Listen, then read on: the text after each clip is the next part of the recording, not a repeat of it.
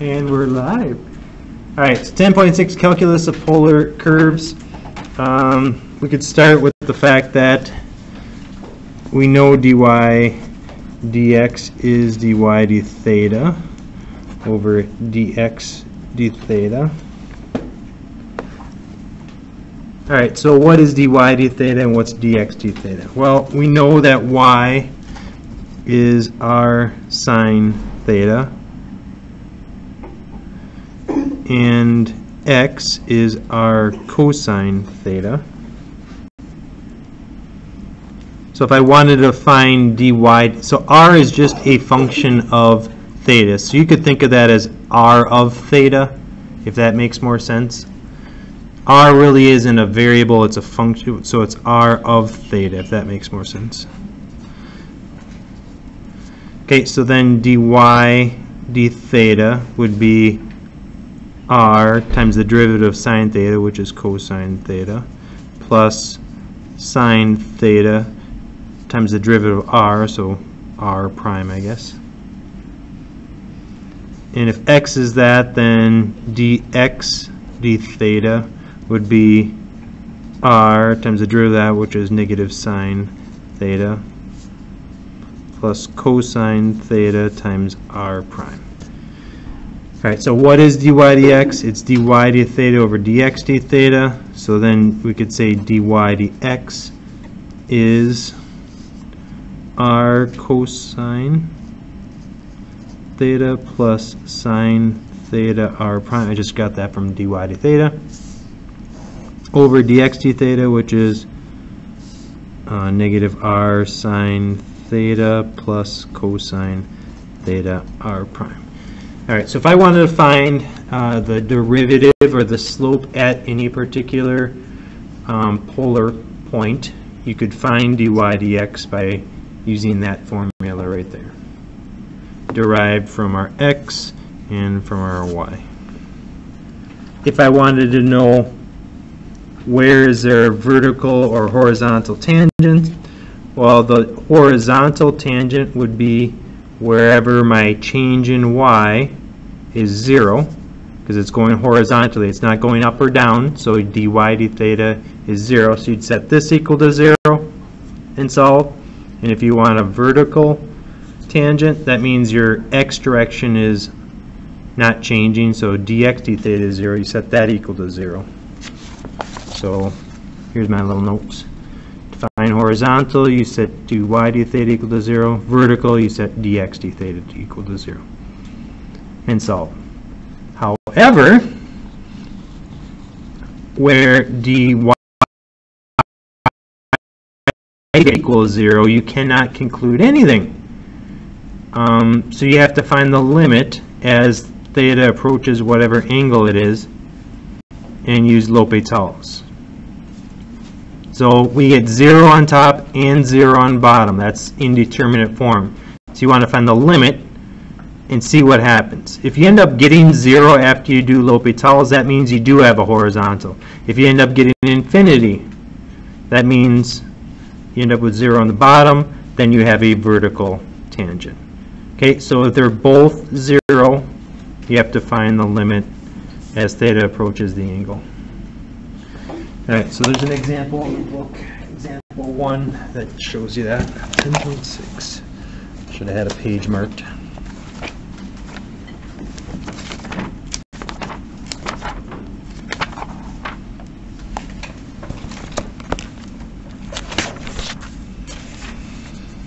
All right, so this is a big daddy problem. Um, so we're finding horizontal and vertical tangents. We're given R. Okay, find the horizontal and vertical tangent. So you want to find out what dy d theta is and dx d theta. So x is r cosine theta. So we replace our r with 1 minus cosine theta. So that's my x. It's 1 minus cosine theta times cosine theta. So we have our x equation. And then you'd want to find the derivative of that, dx d theta. And y, remember, is r sine theta. So we replace our r with that r. and find each of those derivatives. All right, so dy d theta, we found the, the book found, the derivative of this right here, using what? Product rule, etc. So dy d theta ends up becoming all of this stuff.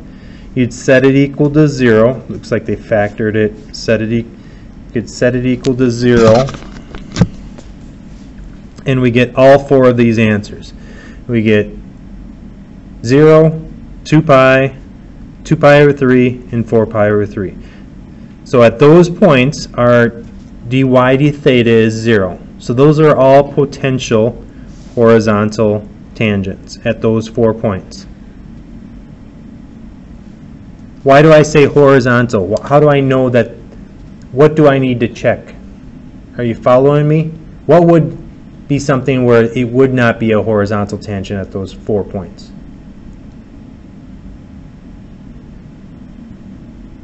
That's okay.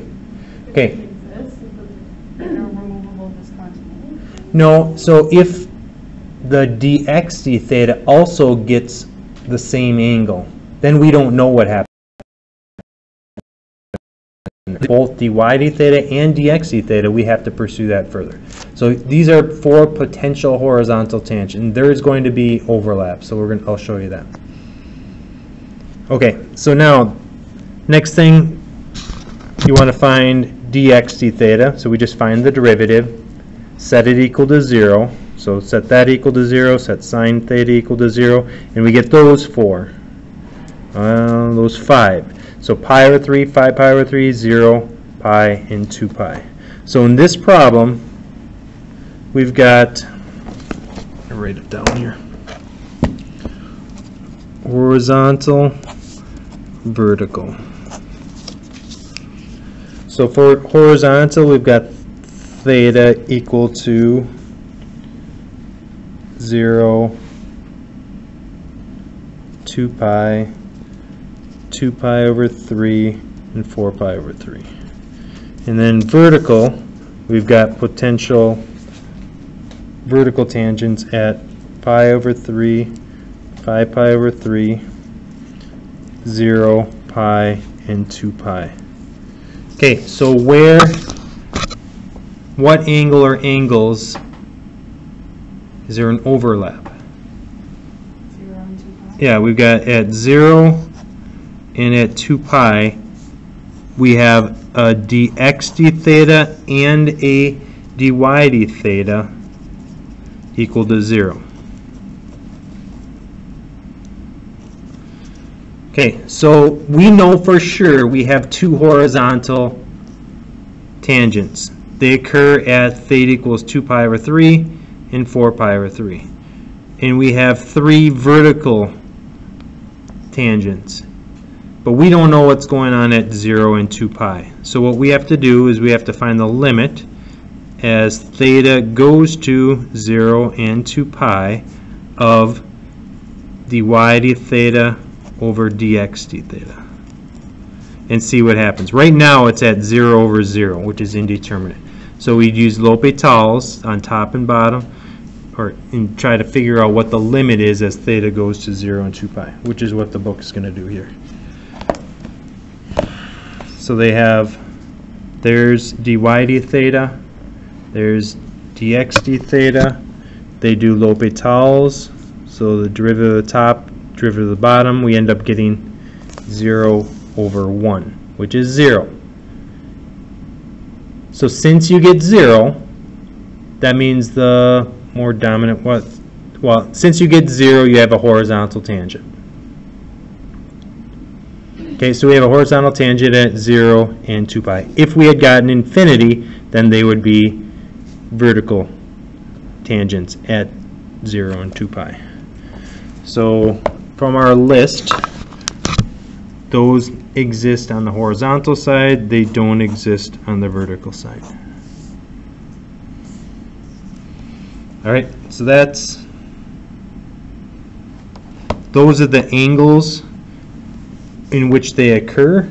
If you go back to the problem, it says find the horizontal and vertical tangents. Okay, so you'd want to find the points, like the polar points in which it occurs. Remember, our polar points are r, comma, theta. So plug in, we already know that like at zero our angle is, our theta is zero. If you plug zero into our r equation, that'll give you the r. So the r of zero would be 1 minus the cosine of 0. So 1 minus the cosine of 0 is 1, so 1 minus 1 is 0. So one order pair is 0 comma 0, and I'm not going to do every one of them for you. All right, questions on that stuff? Yeah, so the very first step, Yep. how did they get to that? How did they get to this, like, from the Right here, card, cardioid? the Cartesian. Cardioid? Oh, cardioid. What? Cardioid? Yeah, how'd they get to the parametric form? Like, where did that come? Like, where did this come from? Yeah, So x is our cosine theta, right? yeah. And r is given to us. So Oh, they just plug that in for r. Yep.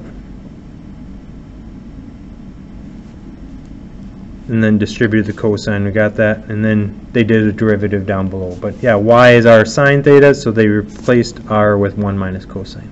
Okay. Good question. Other questions on that type of problem, or that problem specifically? It's a pretty involved problem, to say the least. All right, Yeah, wait, what do you got? shouldn't there be five then? Or Five, like, where? shouldn't there be, you're not five, shouldn't there be four horizontal tangents? Uh, yep. So they have, they just did zero, zero, and zero two pies. Oh, okay. I don't know why that's kind of equals. Oh, they, yeah, they're saying those are the same thing, but those would be the same. All right, time to, for an easier problem. So we're gonna find the tangents at the pole. Okay, so what we're finding is if we've got like a funky problem, maybe it looks like this, that's pretty funky. Uh, and I wanted to find the equation line tangent to the curve at that pole. We're finding that blue line right there. Okay, at the pole means it's at zero, zero. It's a, it's a little bit different than the origin because it can go through the pole multiple times as you can see. So back to our equation that we just made right here. This is the derivative. And what do I know, this, so, this is dy dx. And what do I know is true at the pole?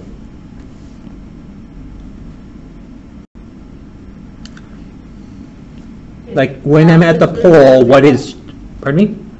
Zero, zero? Yeah, okay, so what's zero? Remember, uh, in polar, it's r comma theta. Theta means what angle is it at? r means the distance from the pole. What is true at the pole? What's r equal to? It's zero. Okay, so we're if at the if we're at the pole, then we're r is zero, and we're trying to find that blue line, that tangent line that goes through the pole. So we know that r is zero.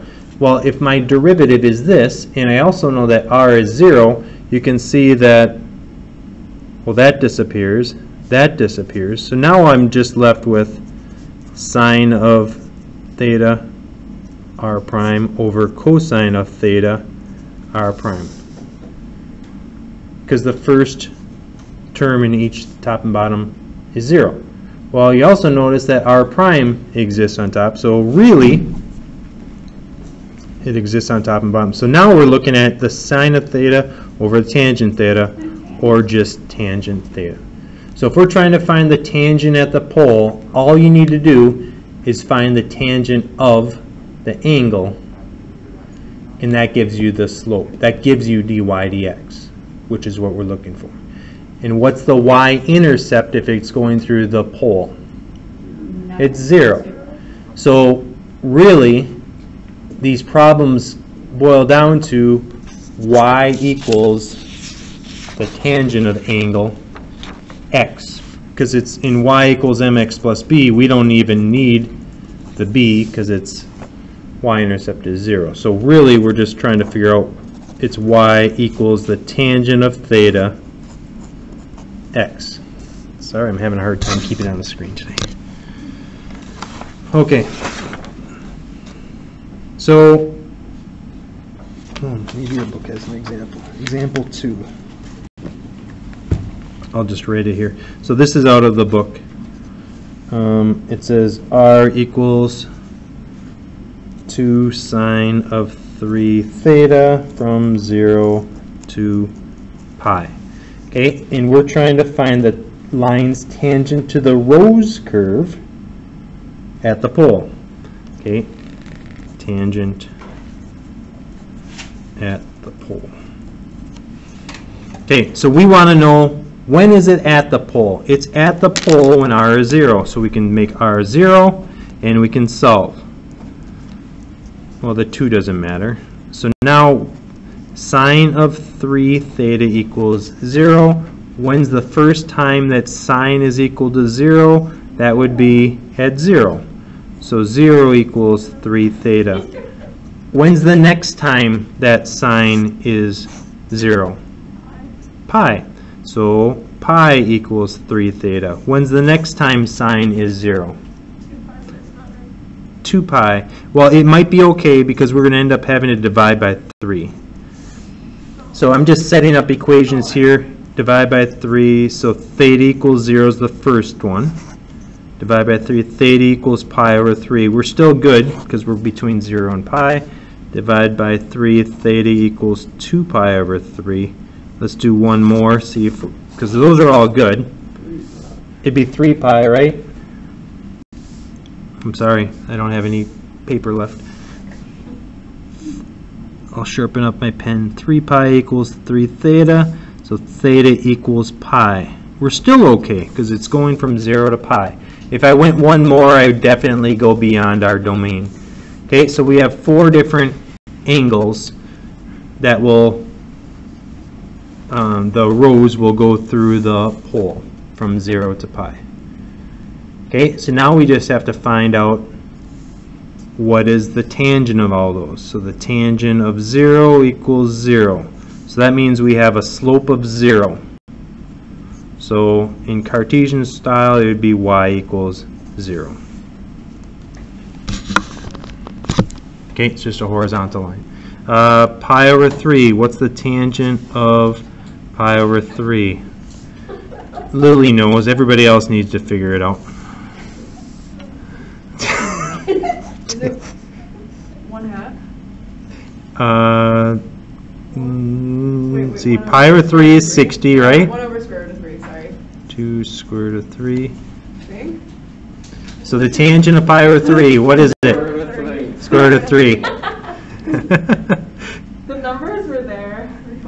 So that's my slope, so my equation,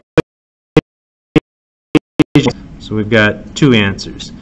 2 pi over 3. Negative square root. Yeah. So negative square root of 3, so y equals negative square root of 3x. And then pi, what's the tangent of pi? 0. So we already have y equals 0. So those would be our three answers. Okay? Yeah, the trig's the hardest part. Uh, so this is Cartesian, so these are our answers. These are the Cartesian equations, like the xy equation. If you wanted to write a line going through the pole, you could also represent it with a polar equation. Um, so like this blue line right here. What's the angle right there? 60 degrees or in pi over 3. So you could say this 3, all points on that line are on the line theta equals pi over 3. Okay, so that would be the polar line for y equals square root of 3x. And then, what about this one?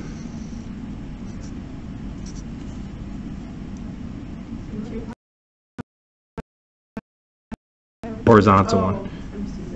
You were just, you, you were expecting me to go to this next one. I almost did too, I don't know why I didn't. Yeah, so theta equals zero, right? All points lie on that. Even if r was negative, or this point right here, I mean, whether r is positive or negative, it's going to be theta equals zero. What about theta equals 4 pi over 3? That's another way of writing the same line in polar. Do you see that? 4 pi over 3 right here, it's the same line.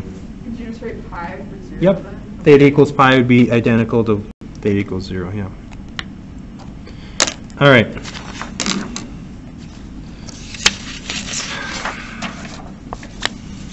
Oh, geometry lesson. How are we doing for time? All right. So what if I asked you to find, oh, I don't need that. Um,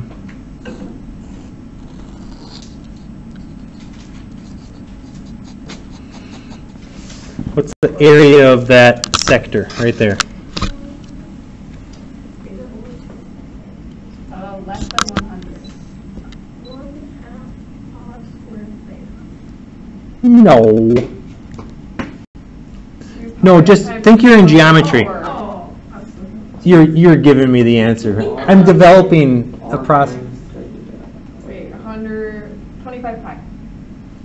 so I don't even know the answer, but I know that it's pi r squared, and then, so it's pi times 10 squared, and then what do you do with that? Divided by. Divided by four. It's a fourth of it, right? So 100 over 4 is 25 pi. You're all over it. Okay, so you got divide by 4 because it's one fourth of the circle. If I asked you to find this, and let's say it's 60 degrees, and you wanted to find, I'll say it's 10 again. So the area of that would be,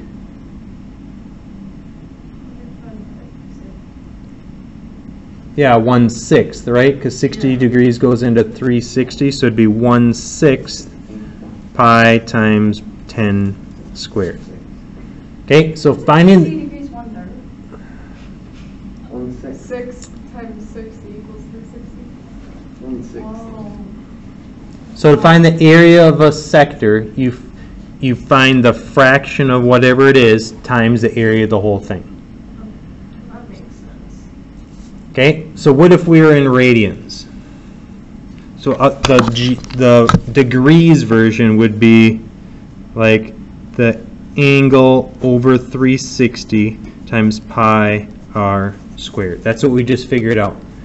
Whatever the angle is over 360 times pi r squared.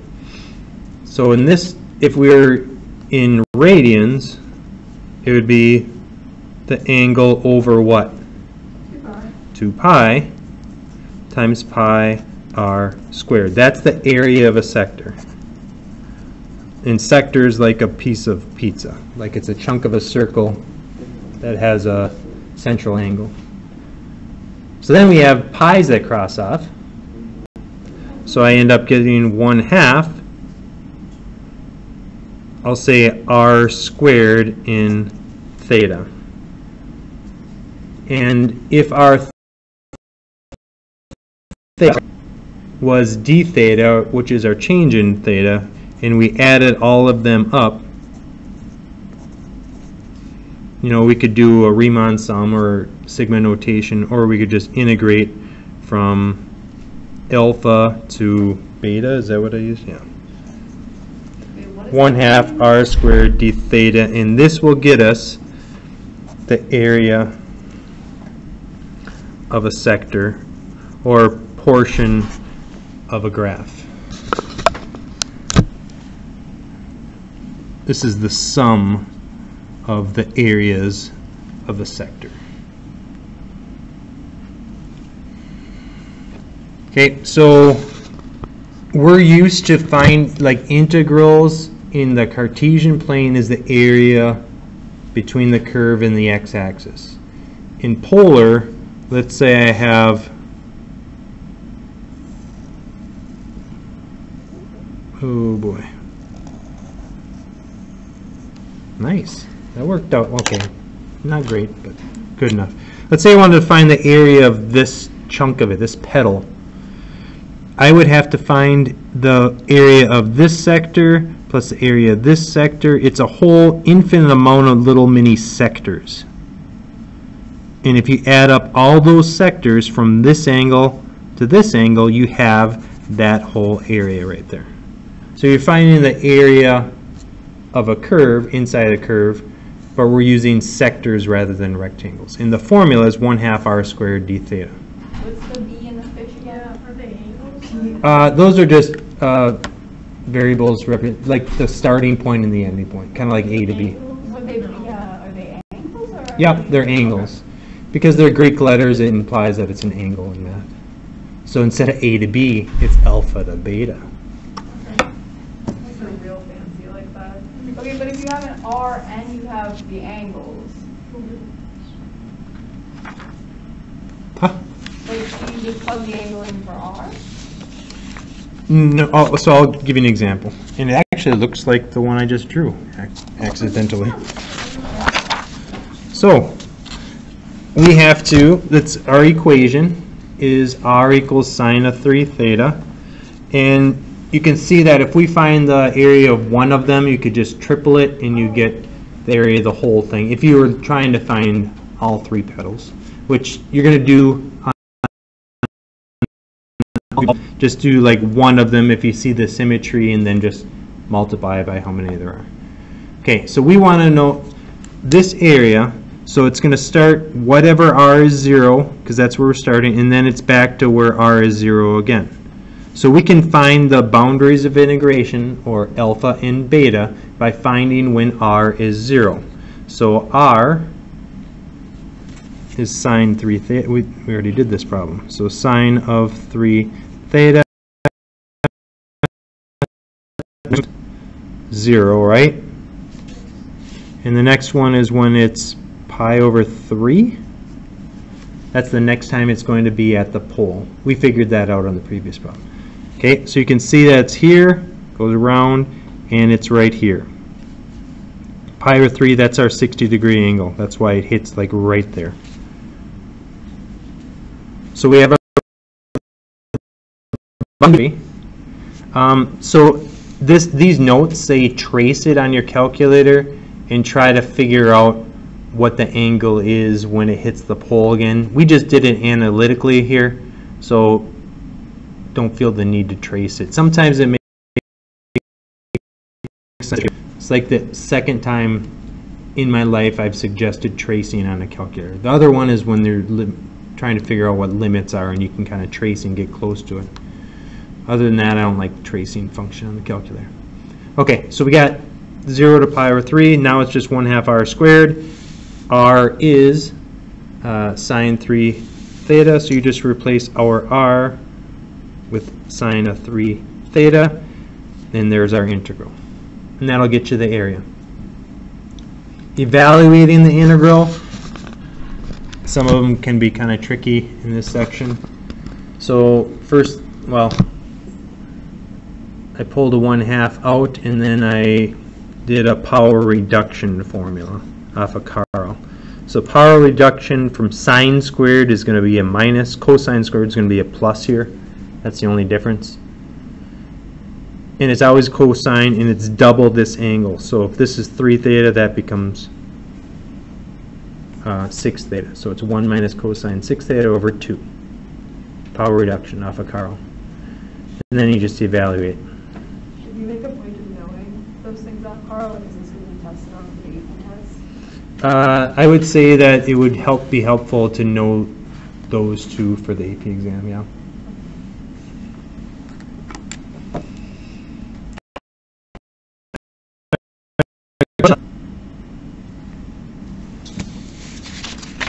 All right, how many pages do I have left? One, two more pages? Still with me? Yeah. All right. Okay, so let's let's go ahead and I'll give you time. Here's my formula. Here's my R. I want you to find the boundaries of integration to find the area of the smaller loop of the limacone. I'll give you some time to try that. Oh, It looks like limacon, doesn't it? So. Orange or something. So sketch on a calculator, go to mode, go down to polar, and y equals is now r equals. So 2 cosine theta plus 1. And I think I was in radians. Yep.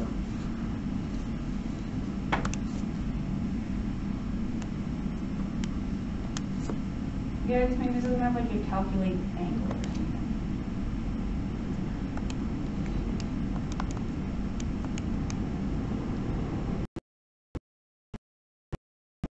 something. Yeah, it doesn't have the- all the features that the Cartesian one, the function one does.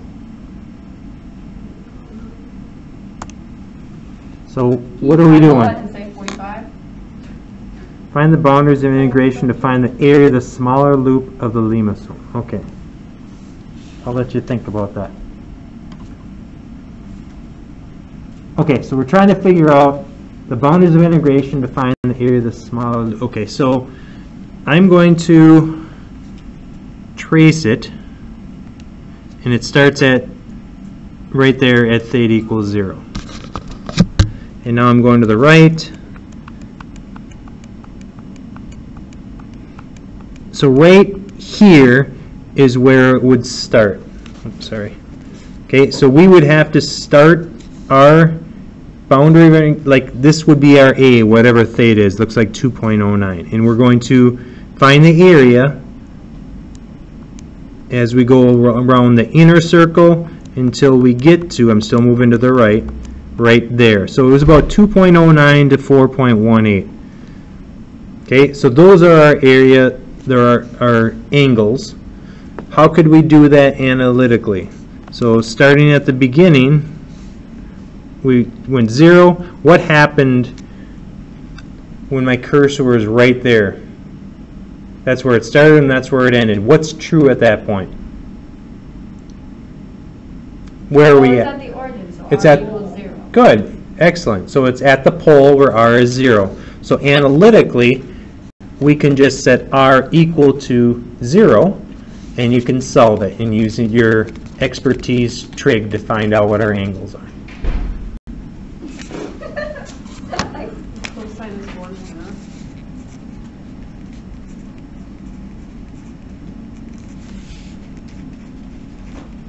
Negative one half, right?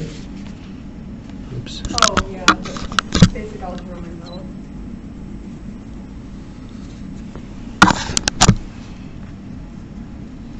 So where is cosine equal to negative one half? Cosine is an x value, so it's gonna be in these two quadrants right out here. Cosine is adjacent or hypotenuse, so that's one, two, and that's negative one. So really, we're just trying to figure out what's that angle? What's our reference angle there? It's pi over 3, right? That's 60 degrees. So our angle, our first angle, starting at 0, goes all the way to here. What is that angle right there? It's 2 pi over 3. So our first boundary is 2 pi over 3. And then the next one would be when it goes down to here. What is it? 4 pi over 3. Good. 4 pi over 3. So our boundaries of integration would be from 2 pi over 3 to 4 pi over 3. So 2 pi over 3 is roughly, well, I don't know what the decimal is. Okay, so if we're trying to find the smaller loop, we'd start at 2 pi over 3 and we'd go to 4 pi over 3. Because the, if I started over and I traced it, the first time would be when it hits at 2 pi over 3 and then 4 pi over 3. All right. That was a little confusing. Uh, If I want, so maybe this will be the last thing, well, for sure, I'm going to run out of time. So area between polar curves, it's basically the big R squared minus the little r squared. Kind of like the washer method. Uh, Find the area outside the curve and inside the rose. So if we're trying to find that shaded region, we'll just find one of them and multiply by four.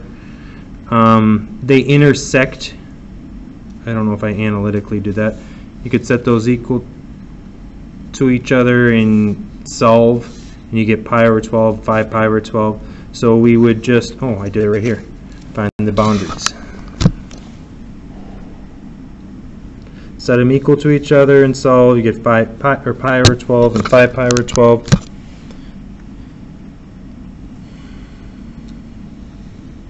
The 4 here, why is there a 4 in front of my integral? There's four petal, four regions, very good. And it's just one half big R squared, which is the outer one, minus little r squared, which is the inner one. And that'll get you the area of all four of those added up. I didn't even want to tackle that one. Looks like I went decimal with my integral. All right, I'll call that good for today.